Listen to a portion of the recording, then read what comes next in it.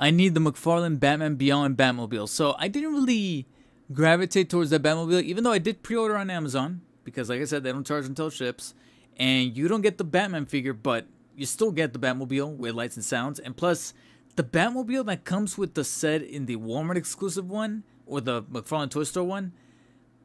I don't really like it all that much. I kind of prefer to just use a regular Batman Beyond. So I'm, I'm good on that.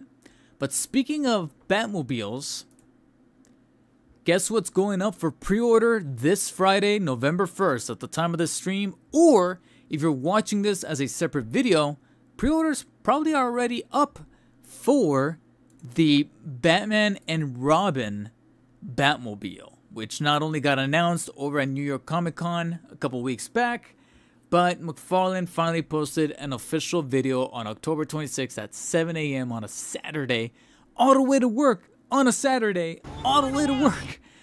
Saturday morning, wake up, and god damn it, McFarlane posts this video. Fucking blow it up. Kinda, sorta. Basically, of the Batman and Robin 1997 Batmobile. And as you can blatantly tell right there, we officially got lights and sounds, which is a, a given. We needed the lights and sounds for the Batman and Robin because it's the most toyetic, bombastic, in your face Batmobile there is. The whole purpose of it even being in the movie was to sell toys, and lo and behold, McFarlane Toys had their work cut out for them by making the most toyetic Batmobile and in doing so they needed it's it's not that they should have they needed to do lights and sounds so the fact that it's including lights and sounds i'm like all right we're covered on that plastic seems to be kind of glossy but i believe it was very glossy in the movie so that's covered that's accurate.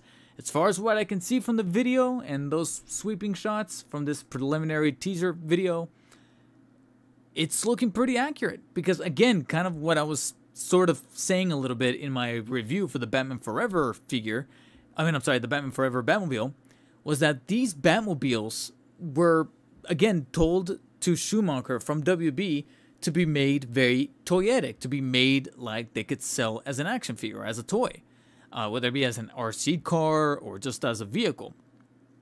And so, since they were designed with that mindset, the toys are not going to be a, a, problem whatsoever. And so with McFarlane making it in the scale to fit a 7-inch toy, which I don't...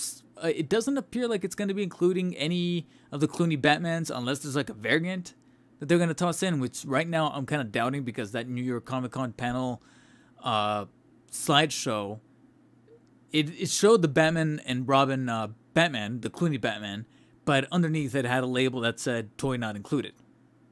So I'm guessing this is going to be just the Batmobile by itself. And it does say in the caption that our Batmobile from the Batman and Robin movie launches for pre-order November 1st at select retailers. Which means it's gonna it's not gonna be a gold label, it's not gonna be a McFarlane Toys exclusive. It will be available at BBTS, Entertainment Earth, Amazon, possibly Target, but keep in mind that when it says select, it usually means they're cutting one out they're cutting either Walmart or Target. So we'll see which one. But are you guys pre-ordering this?